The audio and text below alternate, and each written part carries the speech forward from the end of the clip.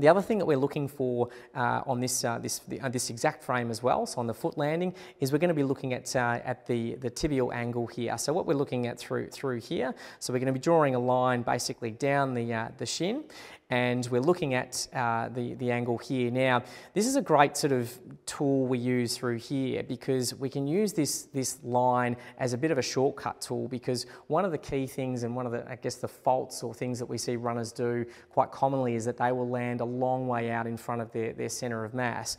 Now, what we mean by that, if we just take a step back, if we were to draw a line right through Holly's centre of mass through here, okay, so usually that's, that's um, dissecting through that, that greater trochanter centre. But if we have a look and zoom down through here, the, the landing in front of centre of mass is basically the distance between the, the initial contact, so in this case the heel, uh, and then also that, uh, that centre of mass line.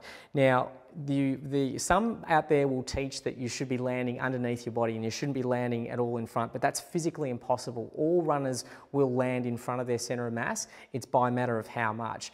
And some research that's looking at elites found that, that that actually equates to about 30 centimetres, so they will be landing in front there. Now, we can't measure that. We can't measure the distance uh, unless you've got a ruler on the, uh, on the treadmill there. We can't measure a distance of that, that uh, landing in front of the centre of mass with these apps, but we can eyeball it.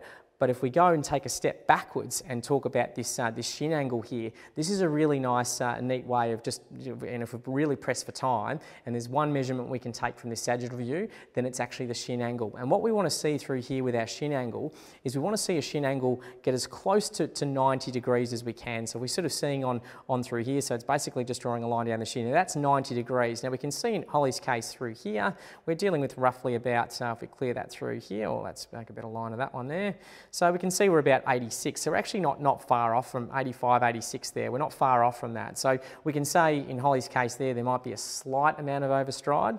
Um, if we clear that and have a look at the other side there as well and compare to that right side, and we'll do the same thing on here, looking at that shin angle through here.